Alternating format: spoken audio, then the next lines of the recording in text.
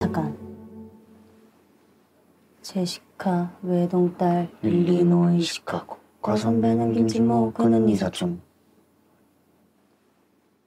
Parasite. Alright, so Parasite is, I think, my first Korean film I've ever seen.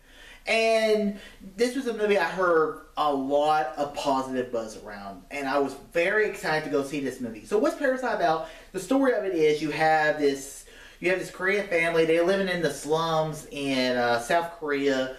And this one kid, this one guy, he gets a job opportunity in this rich family to tutor his uh, this rich family's daughter, and basically he basically plants these seeds to basically take over the household and get his entire family a job in this family.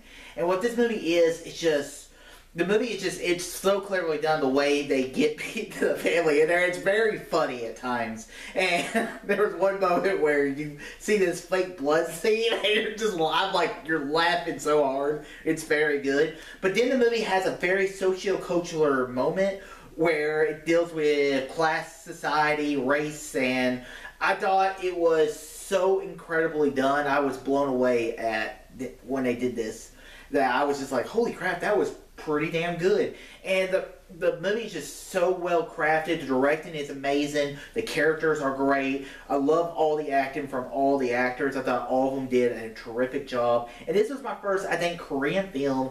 And you know, it's not a it's not movies I get to see very often. But I got to go on my special movie trip, and I got to see this movie before it was done in theaters. I'm hoping this movie gets a lot of Oscar buzz. I love this movie. This might be this might be my favorite movie of the year. I haven't really decided yet. I'm going to figure that out in a very short time.